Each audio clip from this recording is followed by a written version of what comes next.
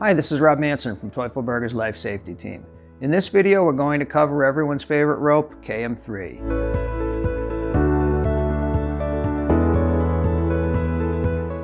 KM3 has been the go-to static rope for decades in rescue, all types of work at height, and play at height. It is literally used on all seven continents, but made right in the US in our factory in Fall River, Massachusetts. It has a beautiful, high-strength, low stretch, torque-free construction, which makes your life a lot easier.